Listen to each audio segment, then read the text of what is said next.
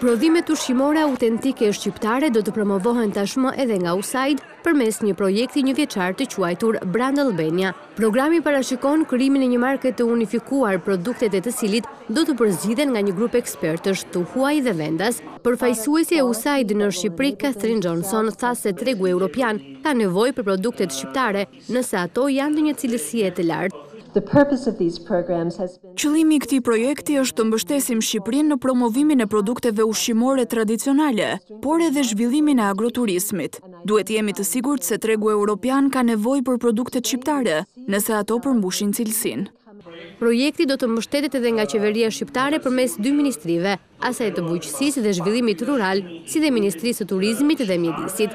Një prodhim tipik mund të jetë me vlerë shumë të lartë, por në qoftë se nuk ka një brand, aq më keq akoma, pjesa më e madhe e tyre tregtohen edhe me amballazhe krejtësisht të papërshtatshme, vlera e tyre është disafish më e ulët se sa vlera që ato meritojnë. Në kuadër edhe të projektit Branded Albania, ne po punojmë për të organizuar gjatë gjithë sezonit turistik një sërë aktivitetesh promovuese të turizmit gjithëvjetor në Shqipëri, por sidomos në sezonin e katër muajve të sezonit dhe turistik.